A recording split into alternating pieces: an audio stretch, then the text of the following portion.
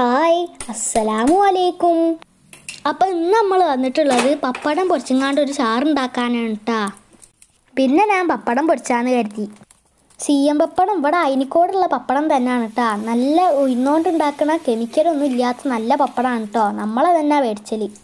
നല്ലോണം കൊള്ളപ്പും ചെയ്യുന്ന ഓവറായിട്ട് കൊള്ളപ്പും ഇല്ല പാകത്തിന് ഇതിൽ കിട്ടുകയും ചെയ്യൂ. പിന്നെ പപ്പടം പൊരിച്ചു.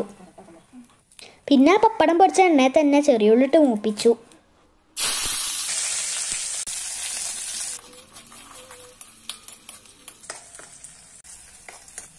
പിന്നെ ഞാൻ പൊടിച്ചുവെച്ച പപ്പടത്തിൽ നിന്ന് രണ്ടോ മൂന്നോ പപ്പടം എടുത്ത് ഇതുപോലെ നല്ലോണം കൈയച്ച് പൊടിച്ചെടുത്തിട്ടോ.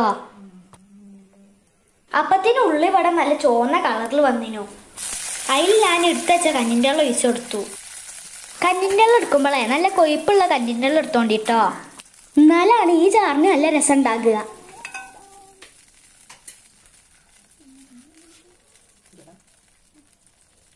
പിന്നെ രണ്ടോ മൂന്നോ പച്ചമുളകും കീറിട്ട് കൊടുക്കുക. പിന്നെ ആവശ്യത്തിനുള്ള ഉപ്പിട്ട് കണ്ട് നല്ലോണം അങ്ങോട്ട് തിളപ്പിച്ച് തന്നെ. തിളച്ച് വരുമ്പോൾ നമ്മൾ പൊടിച്ചുവെച്ച പപ്പടം ഉണ്ടല്ലോ അത് ഇട്ട് കൊടുക്കുക. ഇതൊരു പണ്ടത്തെ രീതിയിലുള്ള ചാറാണ് കേട്ടോ നല്ല രസമാണിത് ഉമ്മമാരൊക്കെ ഉണ്ടെങ്കിൽ ഓർക്കൊക്കെ എന്തായാലും ഇഷ്ടപ്പെടും. ഇപ്പോഴുള്ള മക്കൾക്കൊക്കെ കൈ കറി പിടിയാടുണ്ട് ആവോ?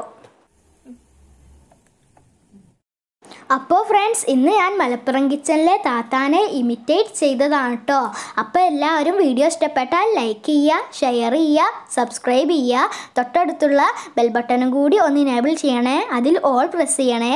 അപ്പോൾ നമുക്ക് അടുത്ത വീഡിയോയുമായി കാണുന്നത് വരെ. ബൈ